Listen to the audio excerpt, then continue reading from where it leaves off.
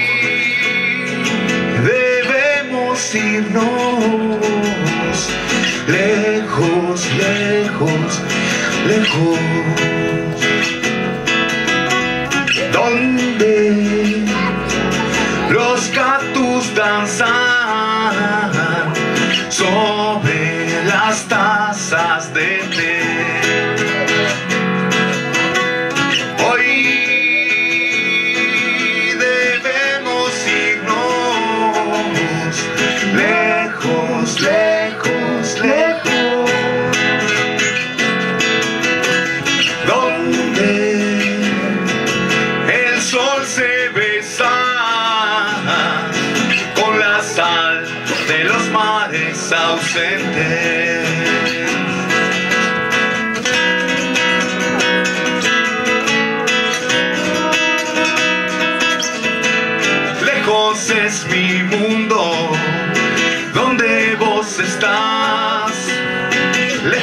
says me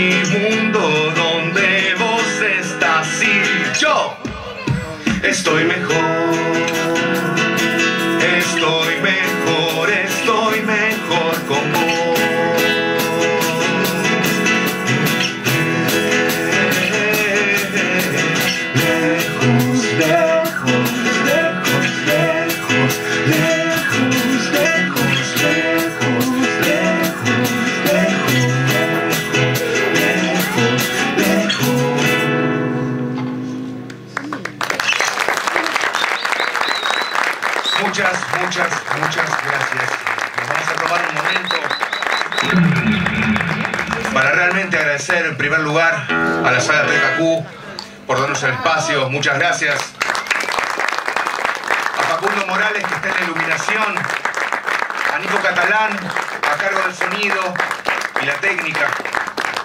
A todos los medios de difusión que han compartido este, este evento. A nuestros auspiciantes que son varios y desde hace muchos años nos acompañan. Y haciendo una tangente, un agradecimiento muy muy especial a nuestras familias, sin las que... Sin, que sin ellas sería muy difícil sostener y haber sostenido durante tanto tiempo para Ninfos. Así que un agradecimiento muy muy especial a nuestras familias. A Iván, a Juani, que hoy se hicieron parte de la banda.